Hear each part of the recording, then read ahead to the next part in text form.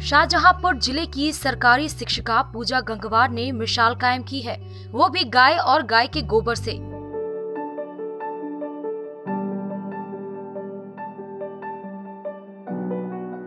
पूजा गंगवार ने गाय के गोबर से ऐसे उत्पाद तैयार किए हैं जो वाकई काबिल तारीफ़ है।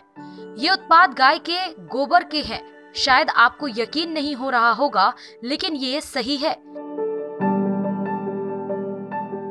दीपावली त्योहार को देखते हुए देवी देवताओं और पूजा अनुष्ठान की सामग्री बनाई गई है।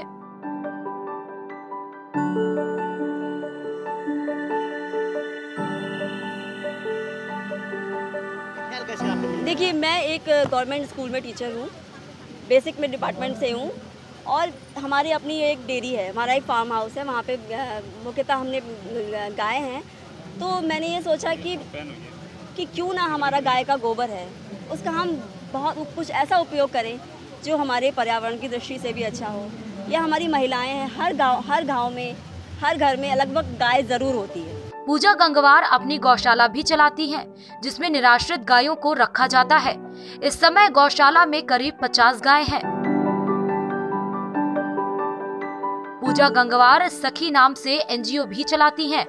एनजीओ से अन्य महिलाएँ भी जुड़ी हैं। यही वजह है कि पूजा की टीम का कारवां लगातार बढ़ता जा रहा है।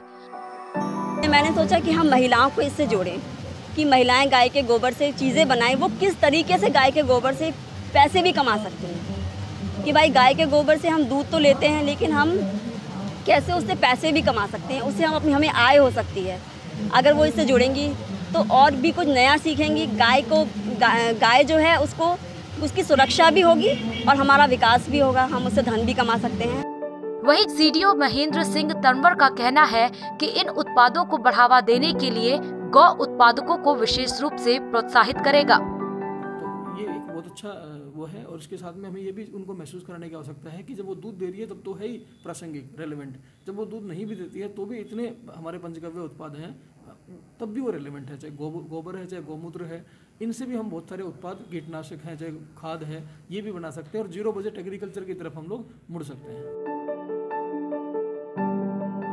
एनडीटीवी भारत के लिए शाहजहांपुर से सिमरनजीत सिंह की रिपोर्ट।